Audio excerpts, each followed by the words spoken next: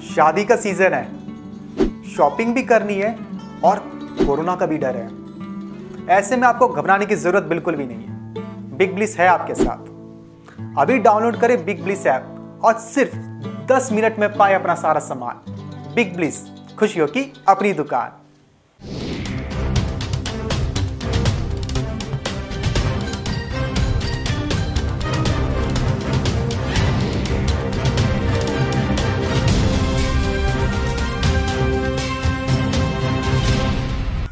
Global market में मंदी की वजह से तेल की कीमतों में गिरावट देखने को मिली है। ज़्यादातर सभी तेल सस्ते हो गए हैं। मलेशिया एक्सचेंज में दो फ़ीसदी की गिरावट है, जबकि शिकागो एक्सचेंज में लगभग एक दशमलव पाँच फ़ीसदी ये टूटा है। विदेशी बाजारों में गिरावट की वजह से लगभग सभी तेल तिलहन की कीमतों में दबाव रहा है। वहीं सूत्रों ने कहा है कि मंडियों में सरसों की आवक लगातार कम हो रही है।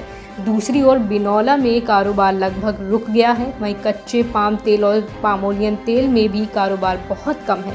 लेकिन डॉलर में इनके भाव मज़बूत बने हुए हैं। वहीं मलेशिया एक्सचेंज में गिरावट की वजह से सीपीओ और पामोलियन में भी गिरावट देखने को मिली है, जबकि शिकागो एक्सचेंज की गिरावट की वजह से सोयाबीन तेल तिलहनों के भाव नरम है। वहीं सूत्रों ने कहा है कि सरसों की आवक घटने से इसका रिफाइंड बनाना कम हुआ है, पर इसे पूरी तरह से रोकने की ज़रूरत है, क्योंकि आने वाली बरसात और जाड़े के दिनों में सरसों की मांग बढ़ेगी। इसका इस्तेमाल विशेष रूप से उत्तर भारत में होता है।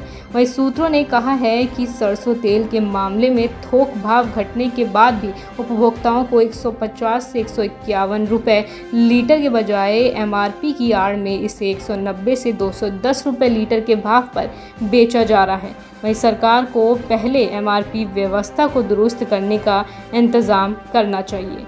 Bureau report, Market Times, TV.